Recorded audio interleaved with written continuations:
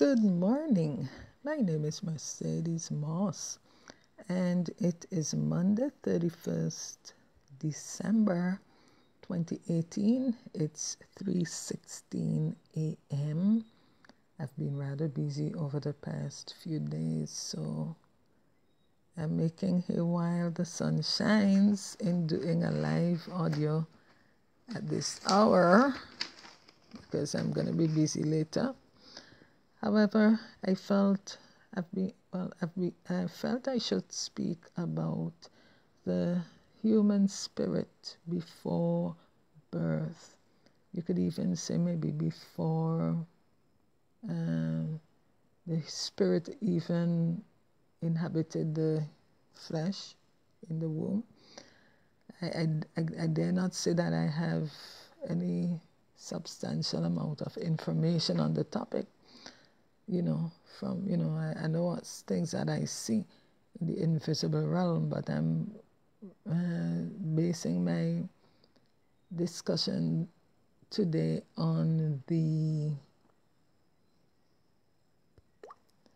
on the uh, writings in the book of Enoch and in the Bible. Hello, Tanzania. Tanzania, welcome. I think it's Bermuda. Welcome. Happy New Year. So, uh, welcoming, I'm welcoming Tanzania, Pamplin, and Happy New Year to you. Please share this audio. And if you're here whenever in the future, I'd like to ask you to share this audio so that somebody else could receive the information. So, I've, I've been talking about the human spirit and writing since 2007 about the human spirit, and my understanding keeps in, increasing. And in order to understand the human spirit before birth or to gain further information, I went back to one of the earlier earliest books that is available to humans, and that is the book of Enoch. You know, Enoch was cited in the scriptures directly by Apostle Jude as Enoch, seventh from Adam, and even in the book of that quotation came directly out of the book because in the last chapter, the Epistle of Enoch, Moses, who wrote that, not Moses, uh, Noah, sorry, who wrote that book, that chapter apparently, mentioned Enoch as the seventh from Adam. And in fact, the book of Enoch, as I said in previously, is liberally quoted throughout the Bible from Moses all the way down to Revelation. In fact, when you read, it's almost like reading a carbon copy of many, many parts of the Holy Scriptures that we have available. However, humans have been writing books from the dawn of time, and so this is what the book of Enoch says about humans. So, first of all, we know from the book of Genesis that uh, God breathed into to, to Adam and he became a living soul. Hey, Richard, Happy New Year. What are you doing up? Like me. So God breathed into Adam and he became a living soul. Now, I read through, took a bit of time this morning reading through the book of Enoch. And I knew before that Enoch had cited, has the phrase Lord of Spirits. So Enoch in the book liberally quotes the, the writes about God as the Lord of Spirits, and in book two, which is the book of parables, the phrase the Lord of Spirits is mentioned 78 times, on or about 78 times. Maybe I, I have fewer or more. You know, it's two o'clock in the morning. so the book of Enoch identifies God as the Lord of Spirits. And in fact, when you read the book of Enoch, we begin to understand from the way Enoch wrote about humans that they are spirits in the earth. In fact, that that phrase is cited several times in the book of Enoch, spirits in the earth. And that is something we need to really fix firmly in our understanding in order to understand the human spirit before birth and even in the eternal realm before the spirit person came into the earth that we are not really bodies, we are not really flesh, we are spirits. And so in the book of Enoch, you, you, you read about the spirits of the ungodly and how the spirit of the ungodly will go to hell and they will, you know, the eternal the punishments of the spirit of the ungodly. We, we, we read about the spirits of the children of uh, the earth in the book of Enoch. So there's, you know, we were really, really, I would encourage you to read the book of Enoch in order to glean further understanding of truth. Because, as I said prior, Enoch was directly cited by Jude, you know, as the seventh from Adam, in, in the seventh ruler in the earth from Adam. There's a lot about Earth history that we do not know, and we've been fed a lot of junk. Let me just share with you um, uh, what is the word? A cross reference in the Holy Scriptures that we know more familiarly. Uh, in Hebrews 12 29, Apostle Paul talked about God being the Father of spirits. So there is no contention between the book of Enoch and the Bible. And we begin in Genesis 1. Uh, in the beginning, God created the heavens and the earth. And then when He created man, God breathed into man and I, I, I, I have a video somewhere in which that breathing was a gentle blowing. God sort of, you know, breathed his spirit gently into man. So God is the father of spirits. And then in Mo, uh, Moses in Numbers 16 22 and Numbers 27 16 talks about God of the spirits of all flesh.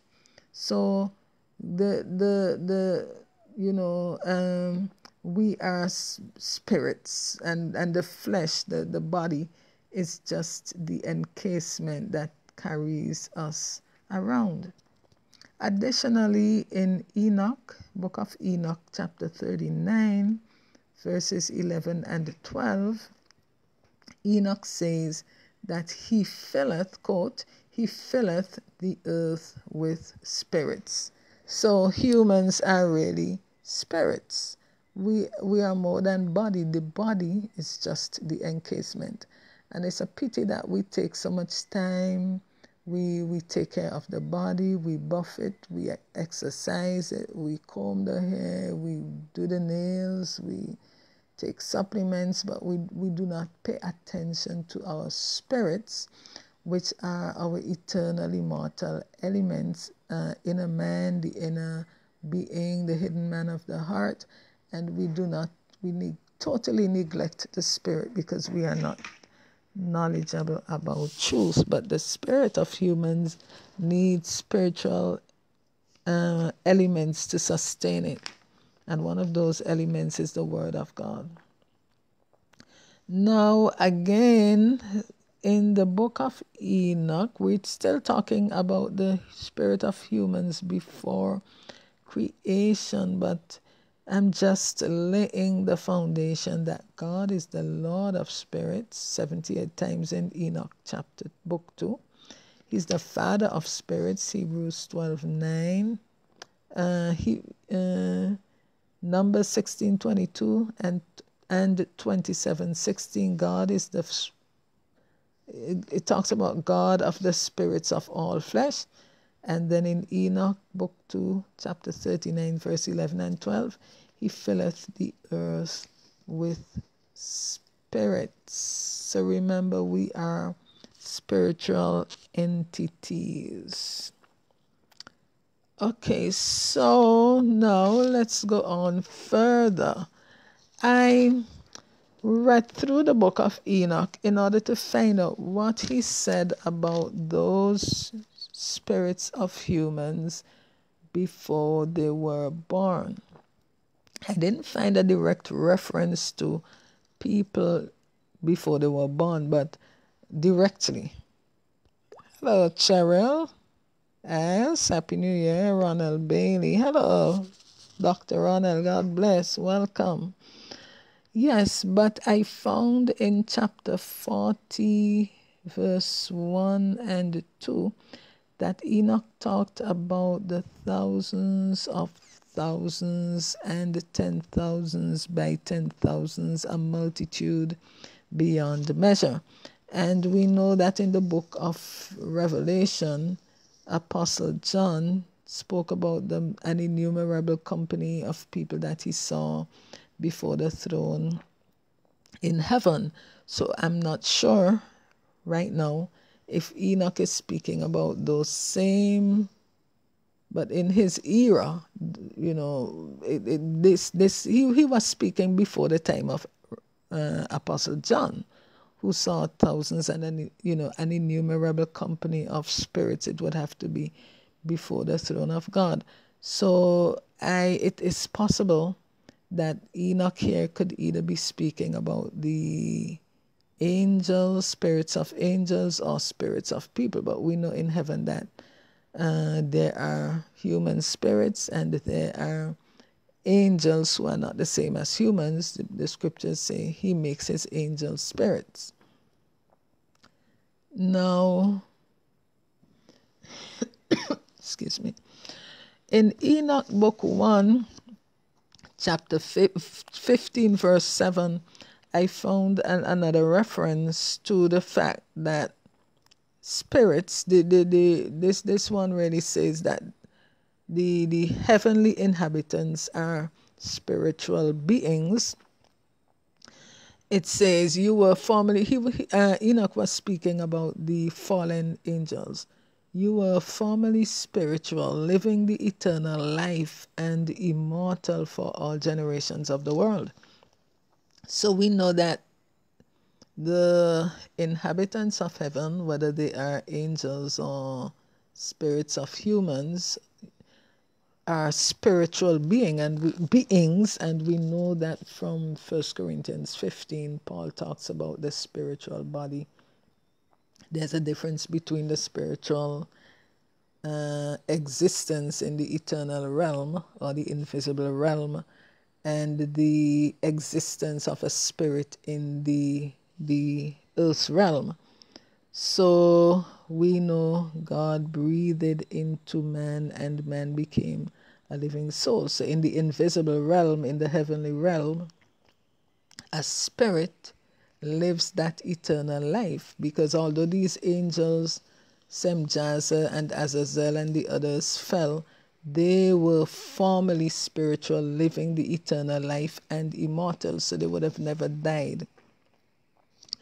Okay, in verse 7, again in book 1, fifth, verse chapter 15, Enoch spoke about, speaks about the spiritual ones of heaven.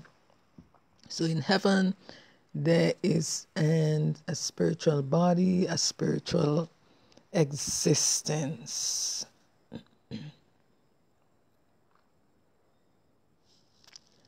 Okay.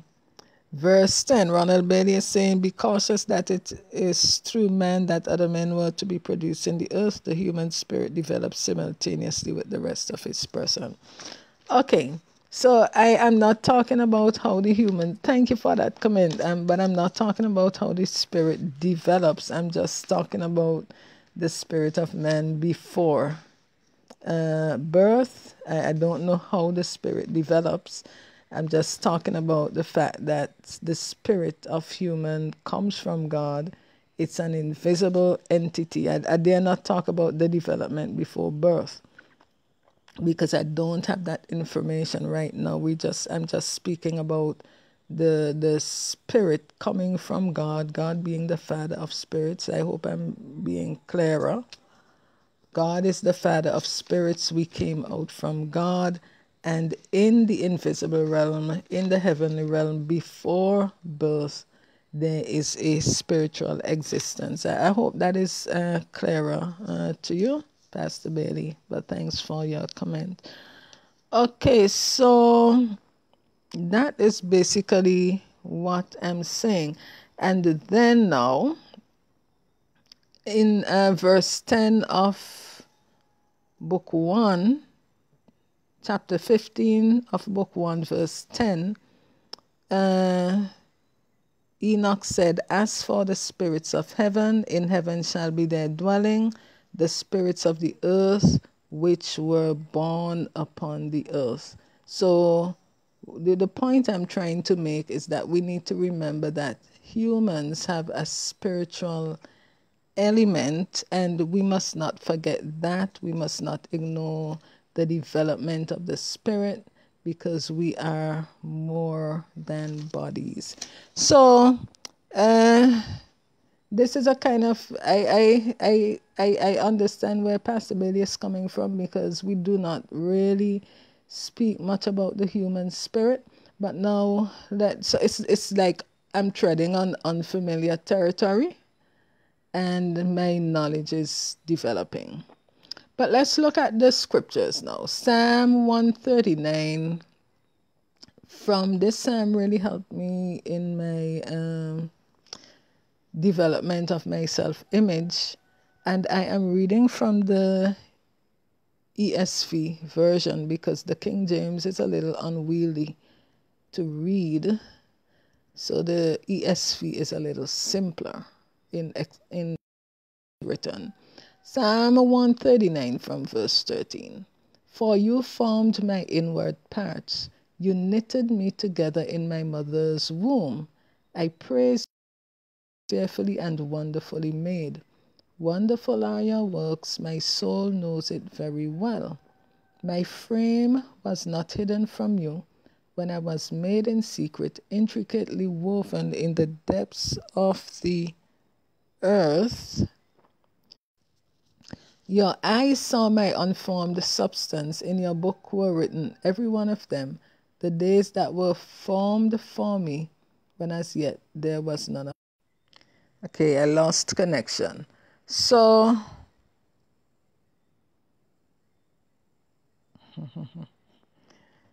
okay. So Ronald Bailey is saying to venture to suggest that the human spirit exists before he he is conceived is going beyond biblical revelation. Well, the Bible says God breathed into Adam. God breathed a spirit into Adam. So we know the spirit of man comes from God. The scripture says he's the God of the spirits of all flesh. So uh, all spirits came out of God, and God is pre existent. So if we all came out of God, we existed sometime in the eternal realm. I believe I'm not trying to form any doctrines or theologies. I'm just exploring something that we need to begin to pay a little more attention to. But thanks for your comment. So, here in Psalm 139, we see that uh, David acknowledged that his body parts or his substance or his parts were are written in a book in heaven and that God knows all of his parts. So it, it tells us that God has a plan for for every human being and that God knows us. So if we are to take the parallels from the Garden of Eden, in which God formed a body and put the spirit in the body, I would have to infer that when a human is formed in the womb, that the spirit is also formed to go along with that body because the body, the scriptures say, without the spirit is dead. And I, I am wondering if at what time is the spirit placed because if we came from uh, the formation of two living cells, a sperm and an ovum, it is possible that the spirit is placed into the human at the time of conception because that is the, whether or not we want to believe in. Uh, a cell is the foundation unit of the of life. So is the spirit placed in the human at the time of life? This is something we'll have to ask, to explore, to seek further information on and this would certainly strengthen our argument and debate against the whole issue of abortion. Because when we read the book of Enoch, we see that the smiting of the, the unborn, the fetus in the womb, is a demonic uh, activity that was taught to humans by the one of the 200 angels that fell that left their first estate and came to the earth. Okay, here's Jeremiah 1 4. Then the word of the Lord came unto me, saying, Before I formed you in the belly, I knew you, and before you came forth out of the womb, I sanctified you, and I ordained you to be a prophet unto the nations. So here is God telling Jeremiah that I knew you before I formed you. And this brings us back to Genesis, in which it says, And God breathed into Adam, and Adam became a living soul. So God had us someplace in eternity, and He knew. And in fact, we just read in Psalm 139 that God has a, all our body parts planned out. Everything about us is planned out in, in the eternal realm, and there is a book. There's a book about me, there's a book about you in the eternal realm, and we are known by God, and God has a purpose for each life before we come into the earth. So, here again, we have other examples in scriptures. For example, the, uh, the, that God knows us and has a plan for us before birth. We have examples in scriptures like uh, Samson. The angel appeared to. Oh, okay. I'll come to your point in a minute, but Benny. The angel appeared to his parents, Manoah and wife, and told them specifically uh, what he would be. He would be a Nazarite, etc. And, you know, his role in the earth as a judge to deliver Israel. We think about Jesus and how the, the, the elements of his birth were known intimately to God, that he would be born from a virgin, his exact name. We see the prophets foretelling all through, you know, Jewish history about this uh, child and his the Messiah, his role, etc. Uh, there are other scriptures. I, I don't have, let's see who else we could think about. There are other script, ex- examples in scripture. For example, John, John the Baptist, the angel Gabriel appeared to his father and revealed to him that he and his wife Elizabeth would have this child and his name, he would be the forerunner, the prophet of the Most High, and that was also prophesied by the prophets. And again, this is an indication that God knew us before he formed us in the belly. Here is evidence in the scriptures that there is knowledge in heaven about humans before they are born in the earth. And here's an, an example. I'm moving on now to a new point that the, the, the, the fetus in the womb has a spirit, and that that spirit can hear. For example, when Mary visited Elizabeth, the mother of John, she was about, um, uh, and uh, on seeing her, there was a greeting and then Mary and then Elizabeth Mary greeted Elizabeth then Elizabeth began to prophesy and as part of the prophecy she said when the voice of yes when I heard you greet me the babe leaped in my womb for joy.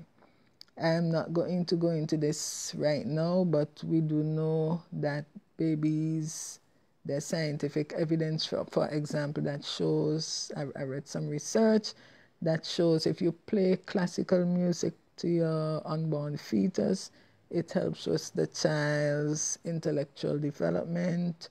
You know, there is evidence right there from the example of of um, Mary and Elizabeth that a fetus can hear in the womb. So Eve, it, it talks about the whole issue of how we deal with the unborn prenatally, how we prepare that child for life, and how we strengthen the spirit of that baby, even with the word of God, even what we surround the baby with because that baby can hear. Why did John leap in the womb? Because he's a spirit, he's a spiritual being, and he has an existence, had an existence even before birth, and even um, he is conscious. The spirit is alert and it's living even in the womb.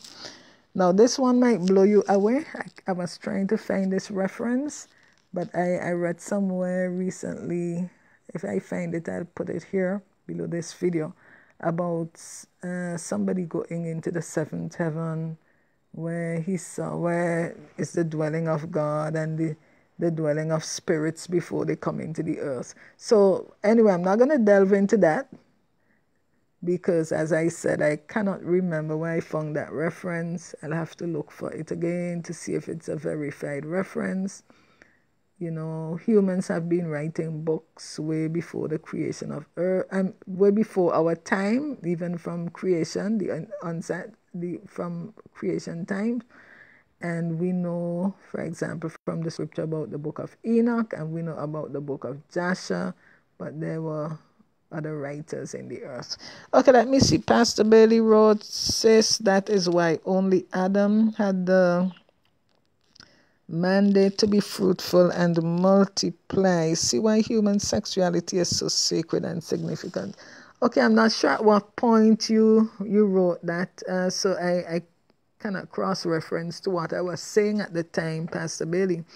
But uh, we know that Adam indeed was given a mandate to be fruitful and multiply the earth, earth to replenish it. And then after the flood, when the earth was recreated, God renewed that commandment to Noah. When you read Genesis 8 and 9, God also told Noah to be fruitful, multiply, and replenish the earth. So we know that is a mandate to human beings. And uh, we need, as I just said, I'm, I'm not really, this is new territory to speak about the human being before birth and you know so the, the, the thing that we need to take away is that we are spiritual beings. The body is the vehicle that takes us around and the human spirit is a living conscious inner part of us that we need to nurture we need to develop we need to grow and pay attention to so I know it is Delicia, goddaughter, welcome. so I just want to thank you for listening, and I pray the blessings of the Lord upon you. In 2019, I pray that the Lord would strengthen you, that He would keep you, that He would He would lift up the light of His countenance upon you. He would give you peace that you would, we would walk in the paths of righteousness, that God would give us the spirit of wisdom and revelation in the knowledge of Christ, and that we would be pleasing in His eyes. I pray that God would give you insight into how you're to live your life, insight into uh, how to grow your resources, how to invest how to, you know, create, how to be fruitful, how to multiply, anything you need to multiply. And I pray blessings. Thank you so much for listening. I know that a lot of it could be is potentially controversial. I agree. But as I said, it's territory that we do not often tread on. So, you know, if there's anything that I said off, I'll listen again and correct.